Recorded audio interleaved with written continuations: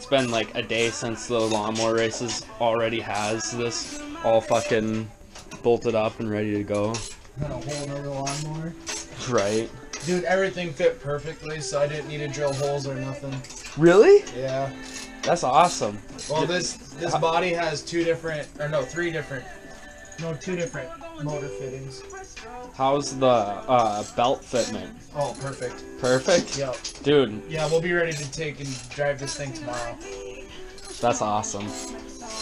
That is so awesome. I just gotta swap the seat out. That we have to put the one up from that body onto this one because that's the only way it'll start is if that sensor's hooked in. Oh, fuck it. Yeah. God damn. Well, that was quick.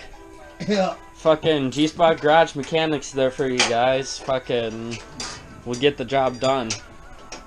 This thing's now gonna go way faster than even before. God damn. Yeah, that's his motor sitting right up there between the benches. Oh. Hey, what's up there? What's up, Chief? You did good. Yeah, until you threw that rod.